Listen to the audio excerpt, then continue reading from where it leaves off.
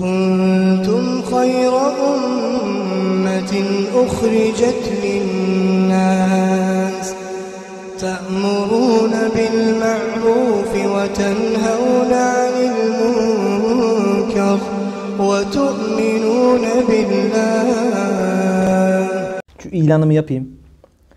Biliyorsunuz bilmeyenler için YouTube'daki ekrandaki arkadaşlara da söyleyeceğim. Burayı da kırpıp YouTube'a da atacağız.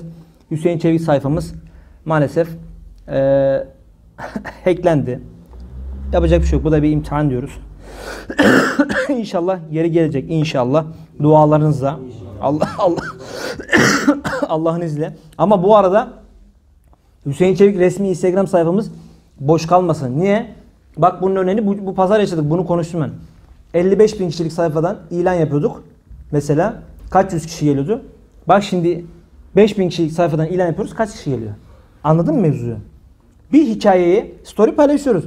Gönderi paylaşıyoruz. Bir 55 bin kişinin görmesi var. Bir de 5 bin kişinin görmesi var. Ne yapacağız? Mesela o sayfa geri alınana kadar inşallah geri gelecek. Bu sayfamızı Hüseyin Çevik resmi Instagram sayfamızı hareketlendirmemiz lazım. Çünkü küffarın sayfaları 1 milyon 2 milyon. Evet.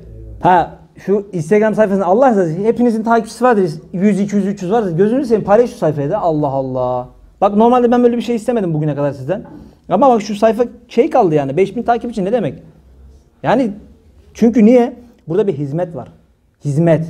Birileri görecek, paylaşacak. Kardeş diyor ki Instagram'dan gördüm geldim. Şimdi görmezse gelebilir mi? Gelemez. Hepinizin en az 100, 200, 300 takipçisi var. Allah rızası için kardeşim şu şeyinize, hikayenize Hüseyin Çevik resmi sayfasını Allah rızası için takip edin yazın. Ne olacak be kardeşim? Çok mu zor? Kesin kimse paylaşmayacak yine. Neyse.